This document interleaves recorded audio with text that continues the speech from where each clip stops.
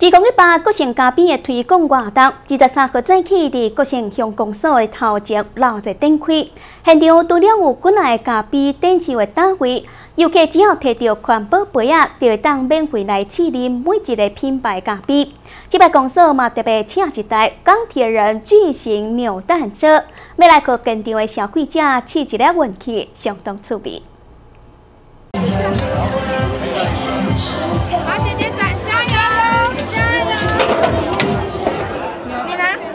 第一届生这种大型的牛蛋，互小朋友拢感觉真稀奇。为了刺激家己的买气，香港所是大手笔，出来造型迷人的钢铁人巨型扭蛋车，当中是包括香港迪士尼四港三枚来回机票等大奖，吸引真侪家长消费满一千块，互小朋友来体验。扭过那么大的扭蛋机这样？没有。没有啊？扭这个感觉怎么样？会不会很困难？不会。不会。啊，有希望得到什么奖品吗？没有，希望可以得到香港一游，可以跟家人去这样子。截至目前为止，我们已经有消费达二十几万了，这个是可以见得说。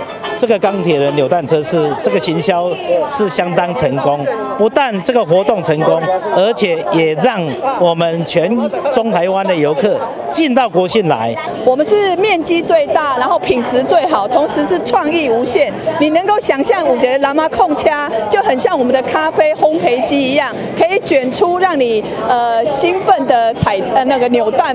因应环保潮流，活动嘛提倡民众家己榨杯啊，就会当免费到各店售单位免费试啉咖啡，互陪酒介啉咖啡的朋友，拢感觉真正是赚到啊！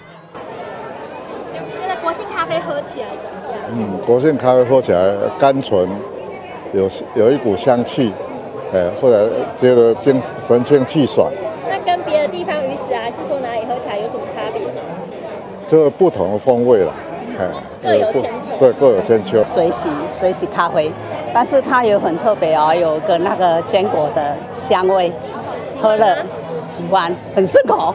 咖啡市集啊，哈，就是每年每年我们都觉得说人潮都不断的涌进了，对，然后这对我们咖啡农来讲的话，这是一种鼓舞了，士气的鼓舞。范围可以再更大，然后因为大家可能来就短短一条，可能逛一下就没了这样子，然后我觉得呃。